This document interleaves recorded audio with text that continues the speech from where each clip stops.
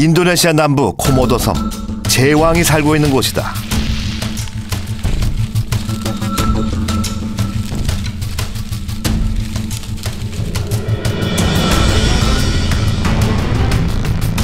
튼튼하고 강력한 갑옷을 온몸에 두른 코모도 섬의 무법자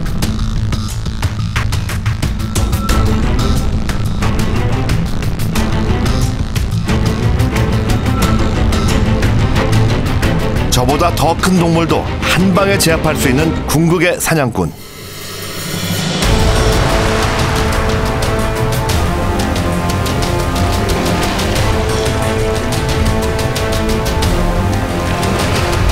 공룡이 지구를 지배했던 것처럼 코모도 왕 도마뱀은 이 섬을 지배한다.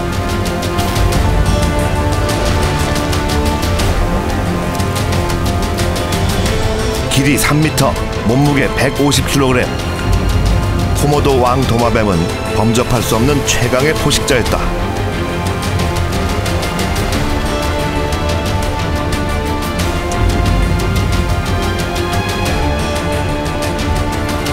하지만 지금은 생존의 위협을 느끼며 고립된 섬 안에서 힘겹게 살아가고 있다.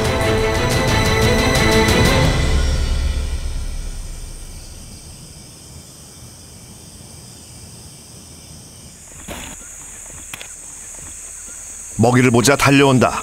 다른 도마뱀들이 먹이를 통째로 삼키는 것과 달리 코모도 왕 도마뱀은 톱니처럼 생긴 이빨로 뜯어먹을 수가 있다. 한 달에 한 번만 먹고도 살 수 있지만 제 몸무게의 반 이상을 먹어야 성이 차는 대식가다.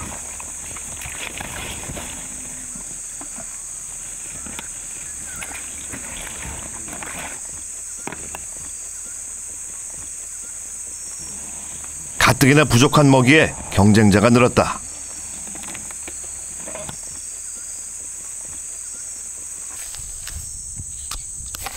좀처럼 결판이 나지 않는다. 지루한 대결이 계속 이어진다. 그렇다고 서로 공격을 하거나 먹이를 들고 주랭랑치지는 않는다. 이미 보호구역에서의 배식에 익숙해진 모양이다. 과거 야생에서의 코모도 왕도마뱀은 무리를 짓지 않고 홀로 살면서 자신만의 왕국을 거느린 절대적인 지배자였다.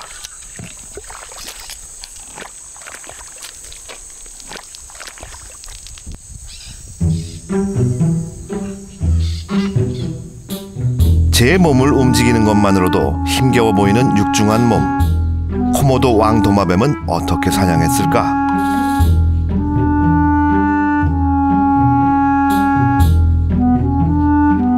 (4km) 밖의 사냥감도 느낄 수 있을 정도로 후각이 뛰어나다 끝이 두 갈래로 갈라진 긴 혀를 이용해 냄새를 맡으면서 사냥감을 추적한다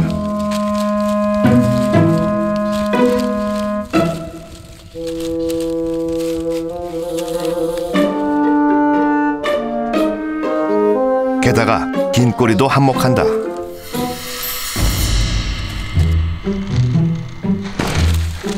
멧돼지도 쓰러뜨릴 만큼 강력하다. 입안에 끈적끈적한 침은 비장의 무기. 침에는 독성 박테리아가 있어 한 번 물리면 치명적이다. 코모도 왕 도마뱀의 모든 것은 최상위 포식자로 살아남기에 충분했다. 그런데 왜 고립되어 힘겹게 살고 있을까? 현재 전 세계에 남아있는 코모도 왕 도마뱀은 약 3천 마리. 코모도 섬에 인간의 마을이 생기자 보호구역으로 밀려나야만 했다. 주식이었던 피그미 코끼리는 오래전에 사라졌고 염소는 인간의 철벽 방어를 받고 있다. 이들은 더 이상 무적의 포식자가 아니다. 보호구역의 거주자일 뿐이다.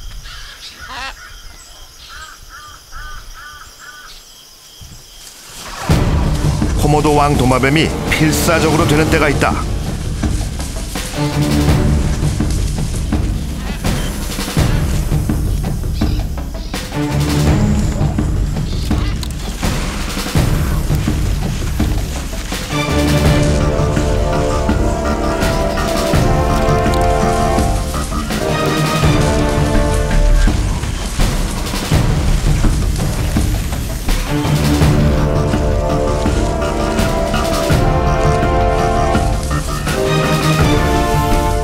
것들이 난폭해진다. 5월부터 8월 코모도 왕도마뱀의 짝짓기 철이다. 사냥의 본능은 잃었어도 자신을 닮은 유전자를 남기기 위한 본능은 오히려 더 강하게 남았나 보다. 승자는 이제 암컷에게 다가간다.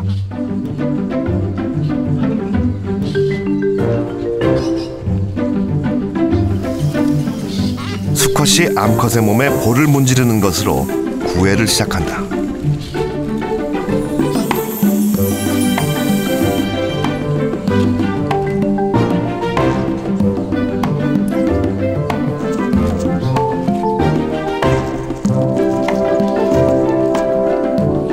배고픔보다 더 강렬한 번식의 욕구 덕분에 코모도 왕 도마뱀은 이 지구에서 몇 대를 더 살아갈 수 있을 것이다. 암컷은 20개 남짓의 알을 낳는다. 알이 부화하는 데 걸리는 시간은 7, 8개월. 새끼가 나오는 3월쯤이면 코모도 섬엔 곤충이 많아진다.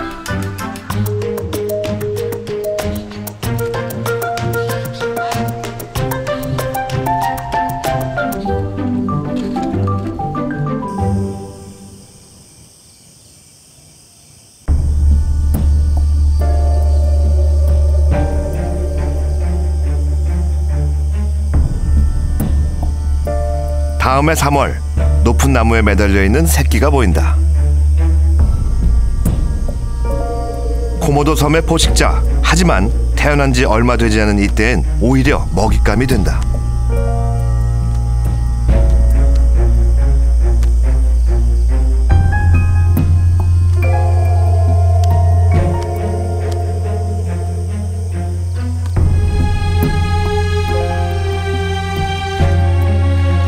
위협이 되는 건 뜻밖에도 코모도 왕도마뱀이다. 경쟁자를 제거하려는 육식동물의 습성인지 무엇이든 먹고 보는 사냥꾼의 본능인지는 알 수 없지만 새끼는 동족을 피해야 살아날 수 있는 서글픈 운명을 안고 태어났다.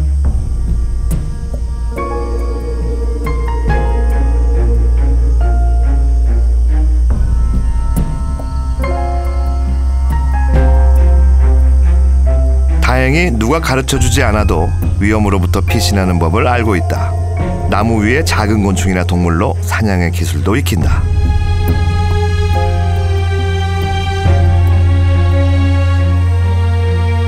새로운 젊은 사냥꾼은 이제 땅으로 내려온다. 하지만 이 섬엔 더 이상 사냥할 것이 없다.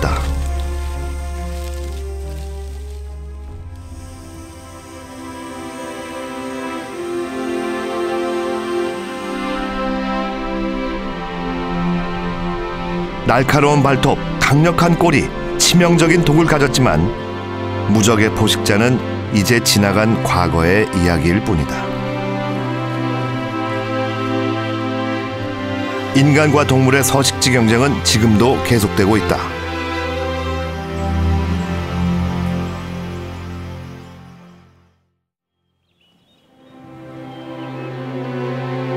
오스트레일리아에서 가장 비가 많이 내리는 지역 퀸즐랜드.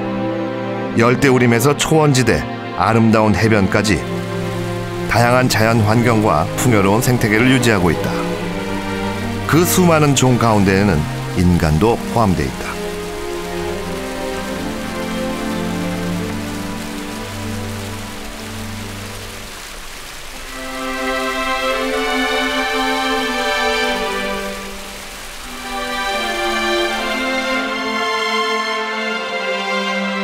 도구를 사용하게 된 인간은 재배와 사육의 기술을 배웠다.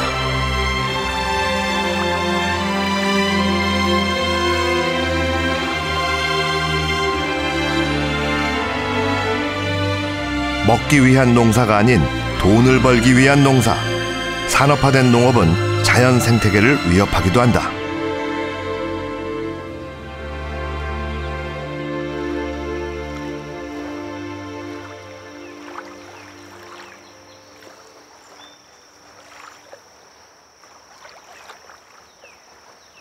시대부터 살아남은 악어는 강력하고 끈질긴 생명체다.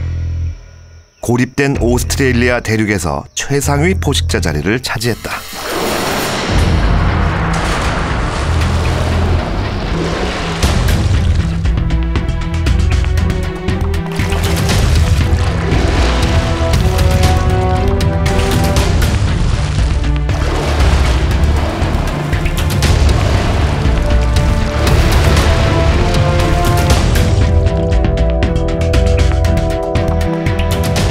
그런데 그런 악어를 위협하는 녀석이 나타났다.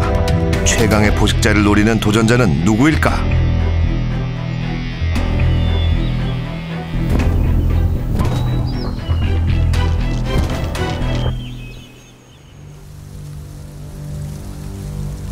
도전자는 해가 저물기를 기다린다.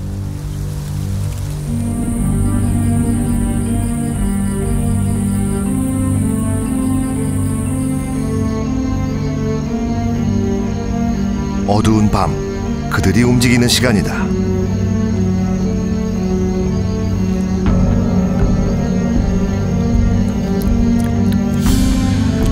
바로 사탕수수 두꺼비다. 두꺼비가 어떻게 악어를 위협할 수 있을까? 그보다 왜 이렇게 두꺼비가 많은 걸까?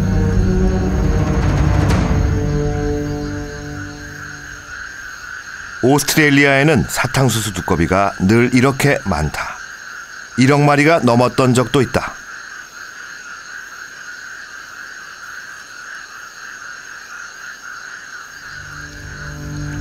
원인은 천적이 없기 때문이다.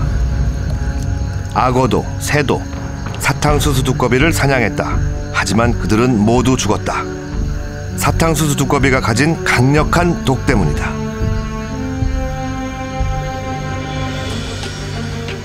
두꺼비는 머리를 보호하기 위해 목 뒤에 큰 독샘을 가지고 있다.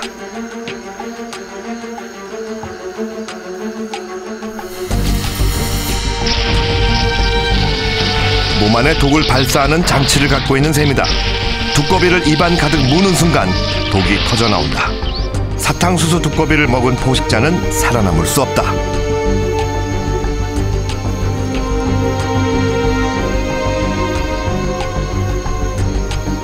두꺼비에게는 당연히 천적이 있어야 한다.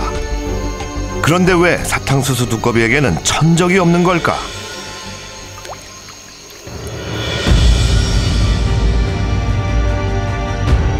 1년 내내 온화한 기후가 계속되는 퀸즐랜드에서는 사탕수수를 많이 재배한다. 오스트레일리아 생산량의 70%를 차지하는 인간의 소중한 재산이다.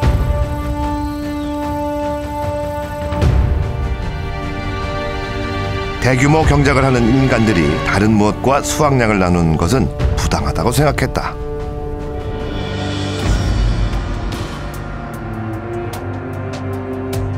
사탕수수 딱정벌레는 농사를 망치는 원흉이었다.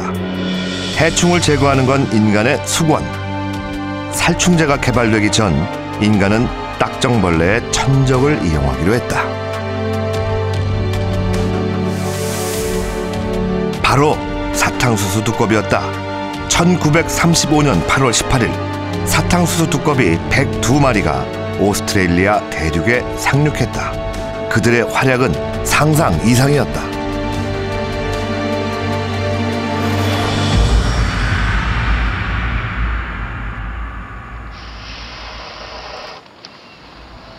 독사는 물론 악어, 새, 대형 유대류들도 두꺼비를 먹고 살아남지 못했다.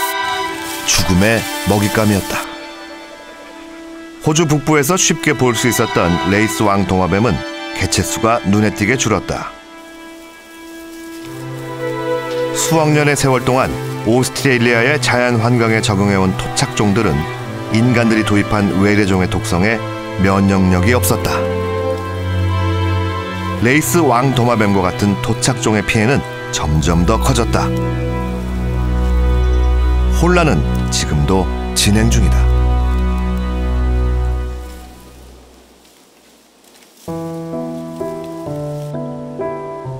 레이스 왕 도마뱀은 교란된 생태계에서 살아남을 수 있을까?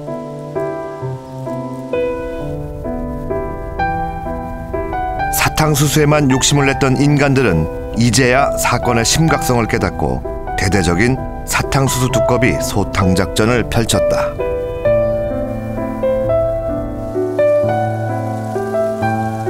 그러나 여전히 사탕수수 농장에는 사탕수수 두꺼비가 살고 있다.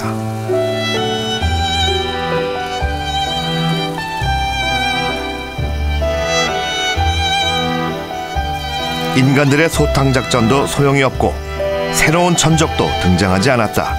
사탕수수 두꺼비의 번성을 저지하는 건 불가능해 보인다.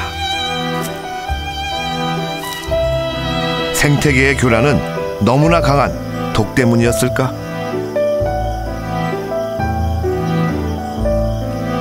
사탕수수 두꺼비가 살고 있던 남아메리카에는 이들의 독성을 극복한 천적이 있다. 생태계가 교란되는 문제는 일어나지 않았다. 인간의 개입은 독의 생태계를 뒤흔들었다. 악어와 도마뱀의 생존은 위협을 받았고 뜻밖의 상황에 인간도 위기를 느꼈다. 심지어 폭발적으로 늘어난 사탕수수 두꺼비도 역시 피해자다. 생태계를 마음대로 조종하려던 인간은 이 혼란을 바로잡을 수 있을까?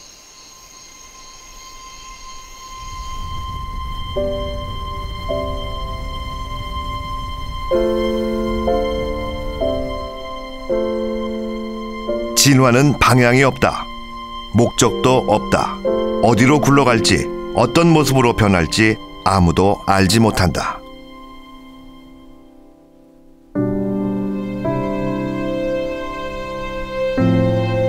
같은 서식지를 살아가는 생명과 생명 그리고 환경이 서로 영향을 주고받으며 현재의 모습을 만들어냈다.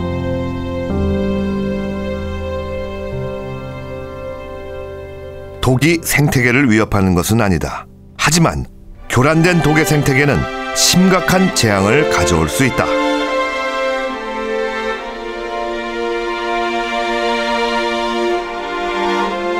생태계에 보이지 않는 손은 균형과 안정을 되찾을 수 있을까? 인내심 없는 인간이 그 시간을 기다릴 수 있을까?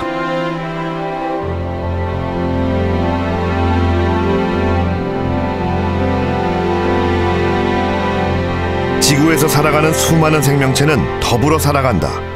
인간도 역시 그 중 하나다.